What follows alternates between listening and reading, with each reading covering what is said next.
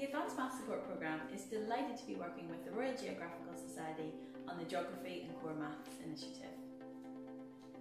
Personally, I've been really surprised by the level of maths that's in geography assessments. And I feel even more passionate now about raising awareness of how studying level 3 core maths alongside geography A level can really support your students. Level 3 core maths is equivalent to an AS and it's all about solving authentic contextualised maths problems. And these are often in a geographical context.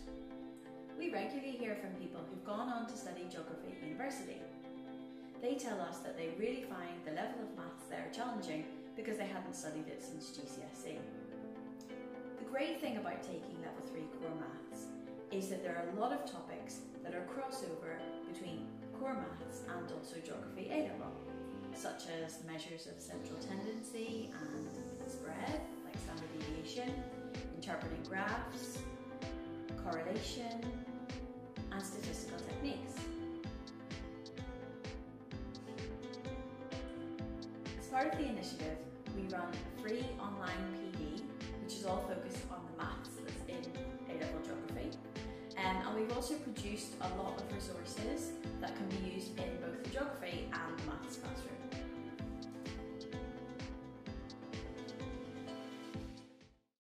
Hi, so in this video I'm just going to quickly talk about some of the ways in which maths and data can be really, really useful in geography. Um, so you might use data in a number of different topics. This could be climate data, so looking at rainfall, or this could be looking at development indicators, how life expectancy changes over time. Um, and it's really important to be able to spot patterns and trends in this data and describe them, um, describe changes over time uh, using the mean, median, interquartile range, standard deviation, etc.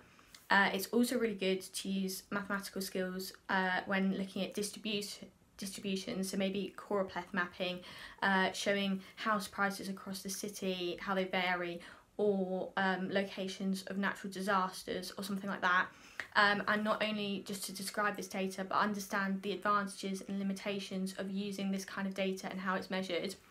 Um, and personally for me, I found mathematical skills so, so useful when doing fieldwork research um, because when you're analysing your data, actually it really takes it to the next level if you can do some statistical analysis rather than just qualitative analysis or describing graphs. If you can carry out Spearman's rank or chi-squared or something like that to prove your association, that just makes your fieldwork so, so much better. Hello, I'm Simon Holland. I'm a course leader for geography and head of faculty at Bilborough Sixth Form College in Nottingham uh, and a chartered geography teacher as well with the Royal Geographical Society uh, which is something brilliant to really look into.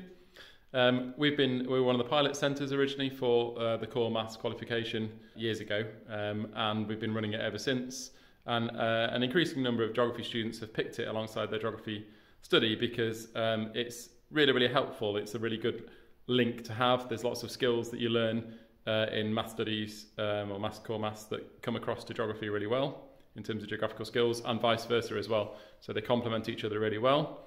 We've actually found the students that do uh, core maths alongside geography do better in geography um, and also really benefit from it when they're doing their coursework and in the exam questions around core maths skills um, and sort of geographical stat skills and things like that particularly.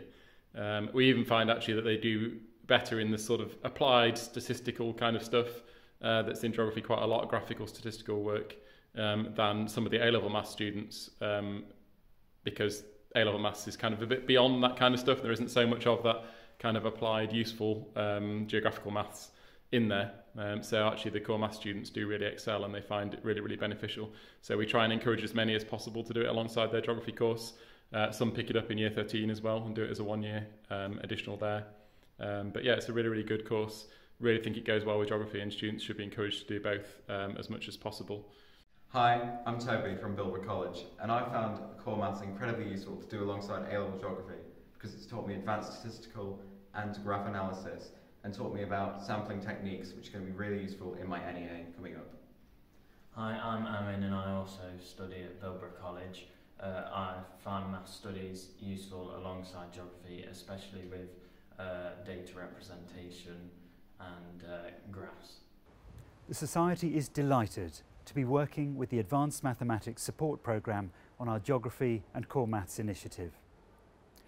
Through this work, we're able to upskill teachers to deliver the mathematics requirements of the geography specifications and in turn to help school students to develop these important skills to use both in their current studies and all of their future endeavours. Geographers with quantitative skills are very employable. Head over to the Core Maths and I Am a Geographer sections of our website to find out more.